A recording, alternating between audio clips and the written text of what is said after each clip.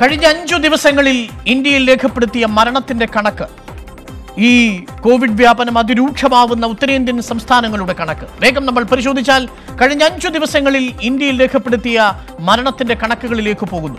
രണ്ടായിരത്തി അറുന്നൂറ്റി ഇരുപത്തിനാല് എന്ന കണക്കിൽ നിന്നും നാലു ദിവസങ്ങൾ കൊണ്ട് അറുന്നൂറിലധികം കൂടുതൽ മരണങ്ങൾ ഓരോ ദിവസവും ഇന്ത്യയിൽ രേഖപ്പെടുത്തുന്നു. മൂവായിരത്തി ഇരുന്നൂറ്റി തൊണ്ണൂറ്റി മൂന്ന് എന്ന കണക്കിലേക്കാണ് മരണസംഖ്യ പോകുന്നത്. രണ്ടായിരത്തി ഇരുന്നൂറ്റി ഇരുപത്തിനാലായിരുന്നു അഞ്ചു ദിവസം മുൻപ്.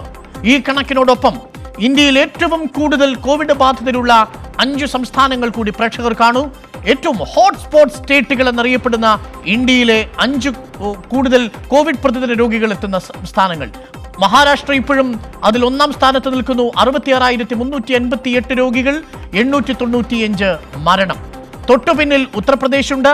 കർണാടക മുപ്പത്തി ഒരായിരത്തി എണ്ണൂറ്റി മുപ്പതായിട്ടുണ്ട് കേരളം മുപ്പത്തി അയ്യായിരത്തിലധികമുണ്ട് ഉത്തർപ്രദേശ് മുപ്പത്തിരണ്ടായിരത്തി തൊള്ളായിരത്തി ഇരുപത്തൊന്ന് ഇരുന്നൂറ്റി അറുപത്തിനാല് മരണം. ഡൽഹിയിൽ ഇരുപത്തിനാലായിരത്തി ഒരുന്നൂറ്റി നാൽപ്പത്തി ഒൻപതാണ് പുതിയ രോഗികളെങ്കിലും മുന്നൂറ്റി എൺപത്തിയൊന്ന് മരണമുണ്ട്. ഈ കണക്കുകൾ നമ്മളോട് പറയുന്നത് മുപ്പത്തി അയ്യായിരത്തിലധികം പ്രതിദിന കോവിഡ് രോഗികൾ കേരളത്തിലെത്തുമ്പോഴും ശരാശരി മറ്റു സംസ്ഥാനങ്ങളെ അപേക്ഷിച്ച് മഹാരാഷ്ട്രയ്ക്ക് തൊട്ടുപിന്നിൽ കേരളം പ്രതിദിന കോവിഡ് കേസിൽ നിൽക്കുമ്പോഴും പ്രതിദിന മരണത്തിന്റെ കാര്യത്തിൽ രണ്ടക്കം മാത്രത്തിൽ രണ്ട രണ്ടക്കത്തിൽ തന്നെ നിൽക്കുകയാണ് കേരളം. ഇപ്പോഴും നാൽപ്പത്തിയൊന്ന് മരണമേ സംഭവിച്ചിട്ടുള്ളൂ. പക്ഷേ കേരളത്തെ സംബന്ധിച്ച ശരാശരി ഉയർന്നതാണ്.